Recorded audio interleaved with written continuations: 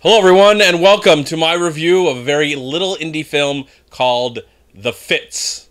I believe this film premiered at the Sundance Film Festival, maybe another film festival, maybe another another film festival. I don't really know. I didn't know this movie actually existed until about three days ago. I found it at a theater in the OC. One theater in the entire OC was playing this movie.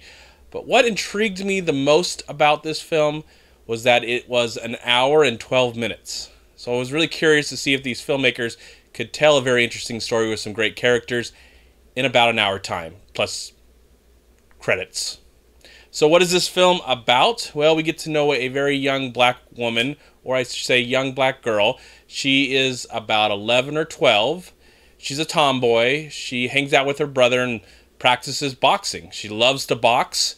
She goes to this rec center in the area but one day, she's intrigued by a group of other young women who are young girls, I should say, who are dancing, like in a big, huge dance group.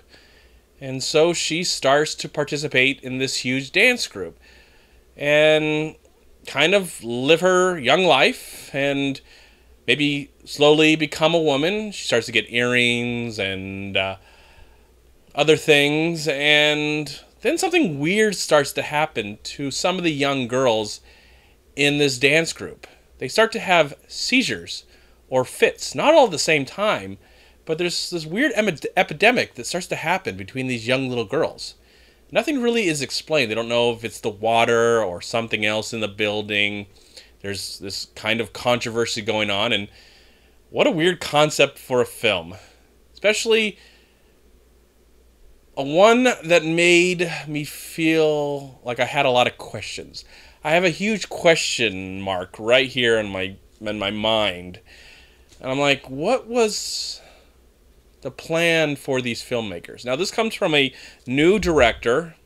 Her name is Anna Rose Holmer. And what I'll say about this director is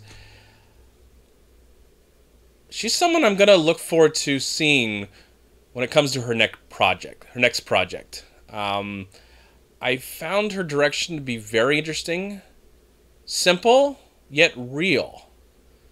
It really helped that there was not a single recognizable actor or actress in the film.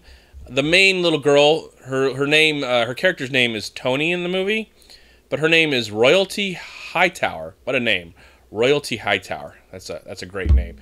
I'd like to see more of this actress. I think it was uh, she was good in the movie. She you know she pretty much probably played herself, but she's very convincing uh, as someone who's very athletic and and someone who likes boxing and someone who likes to dance, someone who you know loves to, to do exercise. Very convincing. I'm assuming that's it's something that she might be interested in real life. That's how much she convinced me in the performance. I don't know. I, I like the setting of this movie. I like the mysterious feel of this film. The movie is unrated. If I was going to rate it something, I would give it a rating of PG 13 just because of the subject matter of like some of these things that happen to these young little girls. When that stuff was going on, it the movie almost turned into from a drama, it turned into a, almost like a horror film.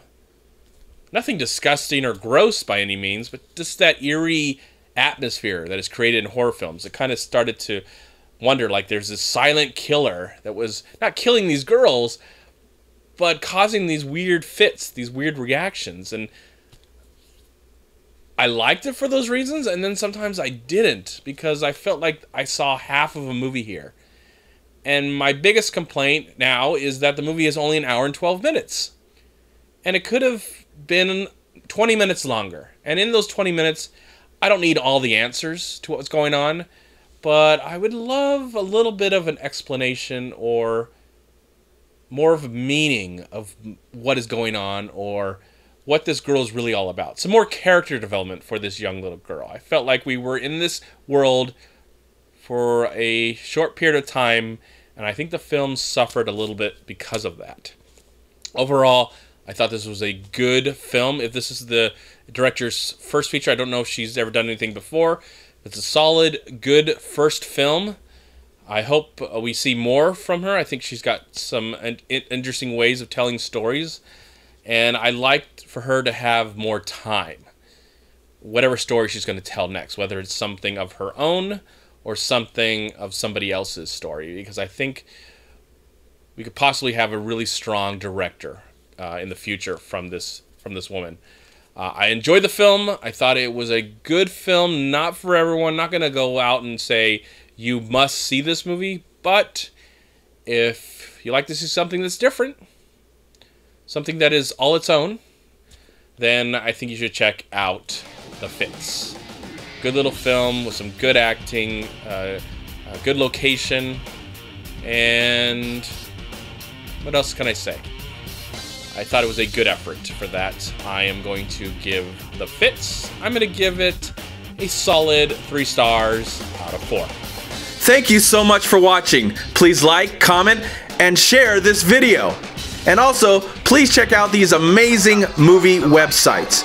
And if you enjoyed this review, please click here to subscribe to my channel and also please check out all my recent reviews right here on YouTube.